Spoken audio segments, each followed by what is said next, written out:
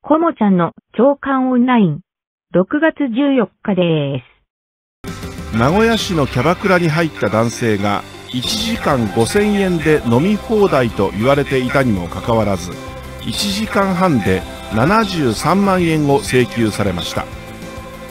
キャストと呼ばれるお姉ちゃんが、飲んでいいですか？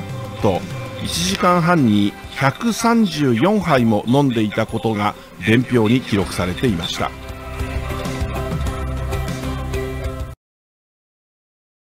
もう一本記事をお届けします。LGBT 理解増進法案が昨日の衆議院本会議で可決されました。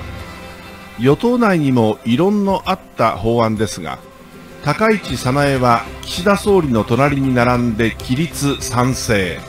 杉田水脈はずる休み賛成せず。高島修一は採決直前退席してトイレにこもるというコントを演じました。お腹が痛くなったと言っていますがそれは本人にしかわからないことです。